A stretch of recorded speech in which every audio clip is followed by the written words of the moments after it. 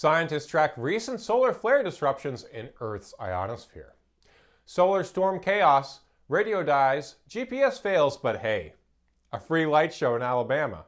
Greetings, fellow observers. Commander Zyx here with breaking news from Earth, where humans built an entire technological civilization dependent on satellite signals, and the sun just reminded them who's really in charge.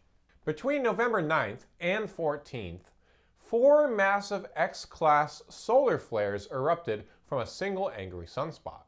These were triggering radio blackouts across Africa and Europe, scrambling GPS systems worldwide and pushing auroras as far south as Florida. You can't make this up. So here's what really happened. Sunspot AR4274 unleashed an X1.7 flare on November 9th, an X1.2 on November 10th, and an X5.1 on November 11th, and an X4.0 on November 14th. That X5.1 marked 2025's strongest solar eruption. Translation The sun threw four tantrums in one week. The flares triggered R3 level radio blackouts, knocking out aviation and emergency communication for hours. Meanwhile, coronal mass ejections slammed into Earth's magnetic field, creating a G4 geomagnetic storm that compressed our planet's magnetic defenses from negative 40 nanoteslas to nearly negative 250 nanoteslas in just hours. Simple cosmic beatdown. Let me paint this picture for you, space observers. NJIT's radio telescopes tracked atmospheric chaos in real time.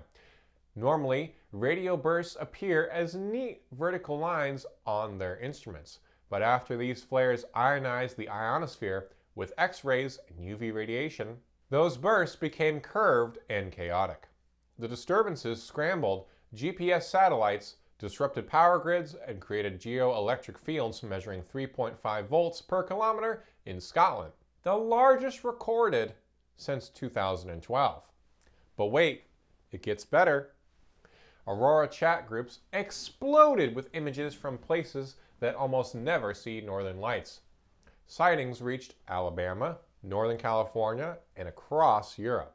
The British Geological Survey dubbed this a cannibal storm because two coronal mass ejections merged in space before hitting Earth.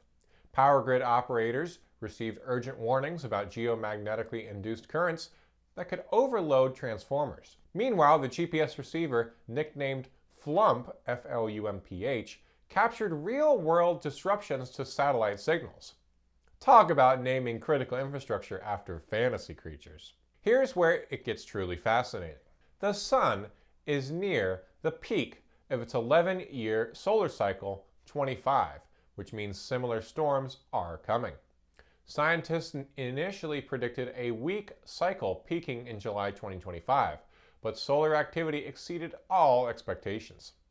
NJIT professor Bin Chen called it unusual to see four X class flares in days from the same region.